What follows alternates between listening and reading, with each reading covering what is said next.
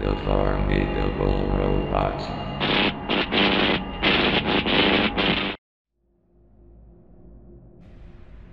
In 2002 to late 2003, David Baszucki made one of the earliest versions of Roblox.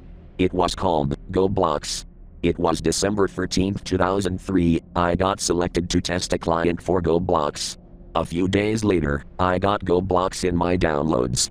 The game started and I got a black screen that said, Start Launcher, and Exit Program. I decided to start the launcher. The screen then turned white two times, and then there was black text in the bottom right, GoBlocks 2003. My screen then went down to reveal a bright blue floor, and three yellow plates with green. There were also a purple plank leading to the third plate, which had red blocks on top of said plate. I was able to look around this map, well I couldn't look behind or left and right. The geometry rendering was also buggy. I looked at the bottom, and there were a few blocks that had various colors.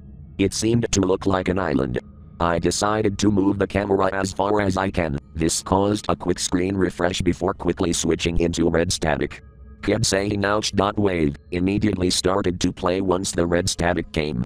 Then the software closes with an error. I tried to play it again the next day, and the error came again, but with the noise that is an infant screaming.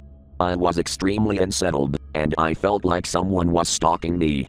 I ran outside to the backyard, and then ran to the forest.